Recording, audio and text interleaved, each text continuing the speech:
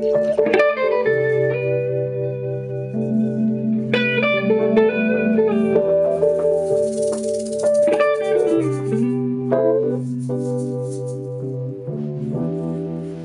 me something good, Cas. Going home. Hey, what's up? We're finished. We're done. We've been here a month in Kauai at Steelgrass Farms, and recorded some music. We got into some fights. We gave each other hugs.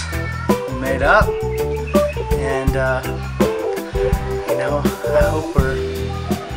I think we're better people after this whole month, two month experience. Um, but yeah, man, glad we did it. Glad we're here. See you next round.